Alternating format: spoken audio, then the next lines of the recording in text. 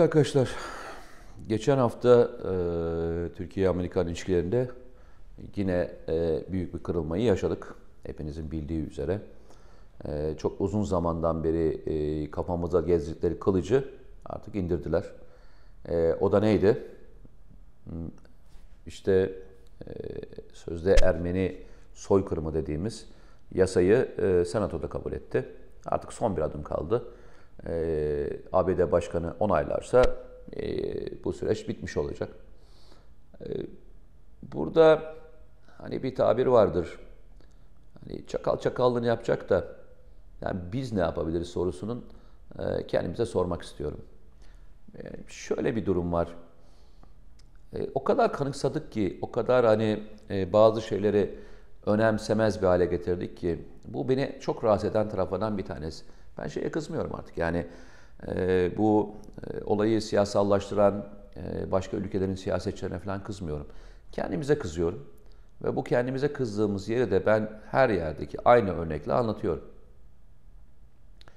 İşte örnekte e, Mescid-i Aksa örneği e, veriyorum. E, Mescid-i Aksa'ya ilk e, İsrail polisi girdiğinde İsrail Cumhurbaşkanı diyor ki ben o gece sabaha kadar uyumadık, alarm da bekledik. E, yani böyle bir yere e, biz girdiğimizde bütün Müslümanların ayağa kalkacağını düşündük. Ama baktık ki sabahleyin hiç kimsenin çok da fazlasıyla umurunda olmadı ve hayat devam etti.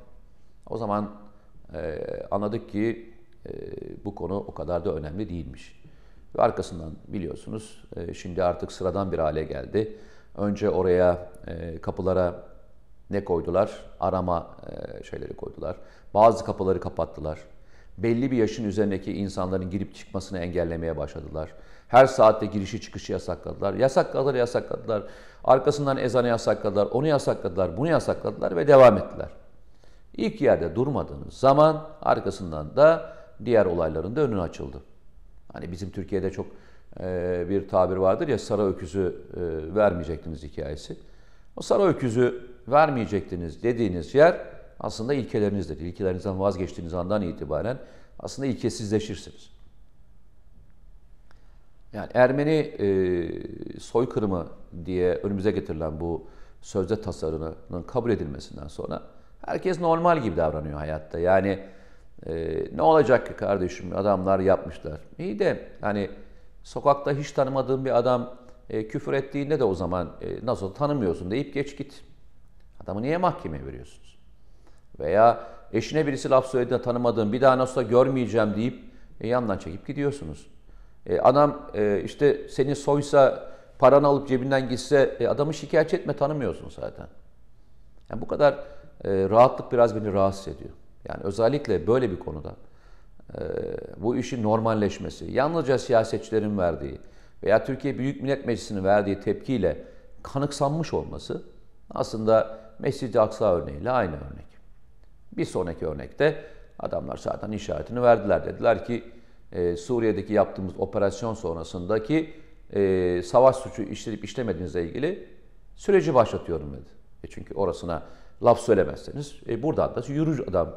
Bu sefer bölgedeki askerlerimizin üzerine e, yüklenecek olan bir süreç başlayacak. Bunun kararını veren işte Savunma Bakanı, Genelkurmay Başkanı gibi övündüğümüz, e, güç gö- gö- gösterdiğimiz ve arkasında durduğumuz insanların da başlayacaklar sorumluluğu. Bu Fırat Kalkanı içinde geçerli, Zeytin Dalı içinde geçerli, Barış Pınar Harekatı için. Oraya da yetinmeyecekler. Daha sonra başlayacaklar PKK terör örgütüne e, Irak'ta yaptığımız operasyonlara doğru gidecekler. Yani e, arkadaş nasıl olsa orada durmadın, e burada da durmayacaksın diye devam edecekler. Bazı şeylerin kanıksanması e, çok doğru değil. Yani verdiğimiz savaş, e, sahadaki savaştan daha önemlisi aslında buradaki e, ideolojik duruşla ilgili. Savaşmayla ilgili bir sıkıntımız yok Allah'a şükür. Yani bu ordunun böyle bir e, sıkıntı hiç olmadı hayatında. Ama nedense hep masada niye kaybediyoruz sorusunu çok soran bizler bunun cevabını da aslında veriyoruz. Masada nasıl kaybedersiniz biliyor musunuz? Eğer kendi içinizde birlik beraberlik olmazsanız masada kaybedersiniz. Çünkü sahada kaybetmemenizin sebebi zaten fiili anlamda orada olmanız. Ama buradaki dönen dolapları görmez. Bu dönen dolaplara arkanızı dönüp dinlemezseniz ve arkasından bununla ilgili süreci hiç yürütmezseniz ve masada kaybedersiniz. Siz şöyle mi zannediyorsunuz? Masa bir günde kurulup bir günde dağıtıldığını falan mı düşünüyorsunuz? Yani o gün sabahleyin toplanıyorlar. Bugün ne karar aldık? Aldık diyor. Yok. Bütün masalar 10-15 yıllık süreçler içerisinde gider. Ve 10-15 yıllık süreç içerisinde zamana yayarak sizi kaybettirirler. Adalar, adaların gidişi. Kıbrıs ve e, işte e, en son dönemde konuştuğumuz PYD. Daha önceye gidelim hadi biraz daha geriye gidelim. Daha da geriye gidelim. Musul. Dikkat ediyorsanız Musul konusunda Lozan'la ilgili süreç başlatıldığında daha sonra ne denmişti? Bunu şeyden çıkartalım, Lozan'dan çıkartalım. Bunu zaman içerisinde çözmeye çalışalım. Zaman içinde çözmeye çalıştıkları dedikleri her şeyde biz kaybettik. Niye? Çünkü konsantrasyonumuzu kaybediyoruz. Niye? O konuyla ilgili insanların e, süreç içerisinde ya iktidardan düşüneceklerini düşünüyorlar, ya onu zayıflatacaklarını düşünüyorlar, ya da etnik ve mezhepsel sorunlar açarak onunla ilgilenemeyeceğiniz bir dönemi yaşatmaya çalışıyorlar. İşte hepsini yaşadık Musul'da. Adalarda da yaşadık, diğer süreçlerde de yaşadık. Biz zamana yayılmış olan bütün süreçlerde kaybediyoruz. Çünkü konsantre olamıyoruz. Çabuk unutuyoruz. Rakipleriniz sizi biliyor. Savaştığınızı biliyor. O yüzden sizi savaş alanına çekmiyor. Savaşacak noktaya da getirmiyor. Çünkü orada kazanıyorsunuz. Ama zamana yayılan masaya çağırıyorlar ve o masada hep kaybediyorsunuz. Veya kaybediyoruz. O zaman bu olaya da lütfen hani birisi ne derseniz ya biz niye masada kazanamıyoruz sorusunun cevabında dönüp kendimize vereceğiz. Atalarımıza katil dendiği bir noktada onların ifadesiyle söylüyorum. Biz eğer söyleyemiyorsak önce özür dilememiz gereken bir atalarımız var. Atalarımızın e, üzerine sürülmeye çalışılan bu leke onlar üzerinden bize geliyor. Yani siz de siz de kirleniyorsunuz. Geçmişte kalan bir sorun gibi algıladığınız andan itibaren aslında bugün de kaybediyorsunuz. Biraz e, birçok konu var. Kardeşim sıra buna mı geldi? Evet sıra buna geldi. Sıra burada başlıyor ve burada kaybediyoruz. Önümüzdeki dönemde Libya konusu dahil olmak üzere, önümüzdeki dönemde Doğu Akdeniz konusu dahil olmak üzere birçok konuyu koruyacağız. Ve bunların her biri zaman ayılacak ve zaman sonrasında 10 yıl sonra bu konuştuklarımızın tamamını unutacağız. Ama onlar unutmayacaklar. Çünkü onların masaya yaydıkları şey bir plan dahilinde. Biz ise o plan dahilinde bu işi sürdüremeyeceğiz. Ah, biraz e, üzen bir konu. E, bu konuda çok dertliyim. E, çünkü 15 e, düzeltiyorum 4 Temmuz'daki çuval geçirme olayı sırasında da e, aynı tepkiyi vermiştim. Hatta şu tabiri kullanmıştım. E, siz yalnızca orada e, kafasına oradaki e, tim personelin kafasına mı çuval geçirdiğini zannediyorsunuz? Aslında o gün e, bütün e, ülkeye çuval geçirildi. Çünkü oradaki temsili bir birlikti ve o temsili birlik üzerinden Türkiye'ye mesaj verilmeye çalışıyor demiştim. Eğer orada o tepkiyi doğru verebilseydik, belki ondan sonraki yaşanan süreçler içerisinde 15 Temmuz'a kadarki olan süreçleri hiçbirini yaşamayacaktık.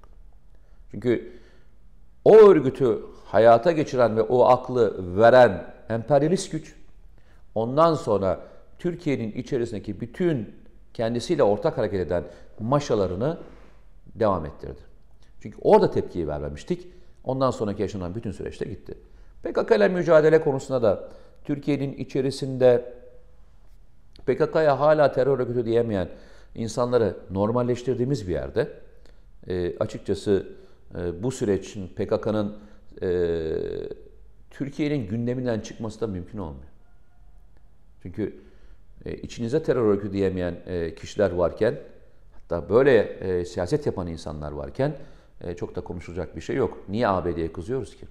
Niye e, başka ülkelere kızıyoruz ki? Niye başka ülkelerde PKK terör örgütünü veya PYD'yi e, destekliyorsunuz diye soruyoruz ki kendi içimizde varken önce kendimize dönüp kendi içimizde bunun demokratik anlamda tartışmasını yapamazız, yapamadığımız müddetçe başkalarına laf söyleme hakkına sahip değiliz. Her konuda hep kendimize döneceğiz. Kendimizle ilgili hesaplaşacağız. Kendimizle ilgili olan süreci doğru yöneteceğiz. Arkasından da nereye gidiyorsak gideceğiz. Kendinizin yapmadığı hiçbir şeyi karşı taraftan bekleme lüksüne sahip değiliz. Sağda varız ama uzun vadede masada yokuz. Benim söyleyeceğim bu kadar arkadaşlar. Kendinize çok iyi bakın. Ee, hepimiz birer birer e, yaptıklarımızdan sorumluyuz. Her birimiz e, yalnızca tarihe not düşmüyoruz. Aynı zamanda bizim atalarımızın bize yüklemiş oldukları misyonlardan da sorumluyuz. Üçüncüsü olarak da ölüp gittiğimizde bizden önce gitmiş olan şehitlerimiz, gazilerimiz, bu ülkeye hizmet etmiş olan insanların da yüzüne bakmak zorundayız. İnançlıyız, imanlıyız, vatanseveriz diyoruz. Bu üçünün hesabının verileceği yerde Allah bize hem e, huzura çıktığımızda hem de diğerlerinin karşısına geçtiğimizde onların yüzüne bakabilecek kadar bu vatan için mücadele ettiğimizi, inancımız için mücadele ettiğimizi bize gösterir. Biz de onlara gösteririz. Çok teşekkür ediyorum izlediğiniz için. Çok sağ olun.